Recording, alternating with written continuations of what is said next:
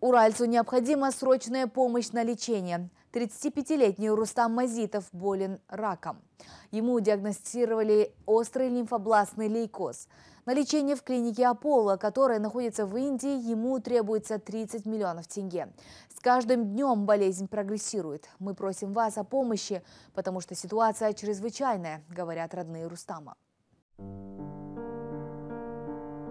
Этот год для Рустама Мазитова начался непросто. В конце января он еще был на страже общественного порядка, исполняя свой долг перед народом. В один вечер он потерял сознание на рабочем месте. После этого случая он решил обратиться к врачу. Результаты анализов оказались подозрительными и его госпитализировали. Пройдя через несколько медицинских учреждений, его направили в лабораторию, расположенную в столице. В итоге Рустаму поставили диагноз – острый лимфообластный лейкоз – злокачественное заболевание крови и костного мозга.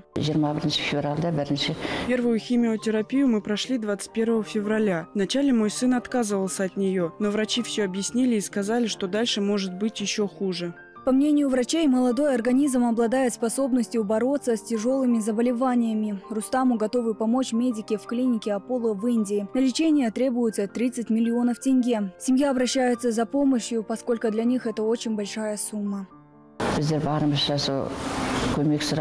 Прошу всех неравнодушных людей помочь моему сыну. Очень тяжело наблюдать, как твой ребенок болеет. Мы очень надеемся, что сможем собрать необходимую сумму и преодолеем эту болезнь. Хотелось бы верить в лучшее. Помочь Рустаму можно по реквизитам, указанным на экране. Любая сумма может сыграть важную роль в спасении жизни человека. Дана Килибаева, Марлен Искалиев, Аслбек Абикенов, телеканал ТДК-42.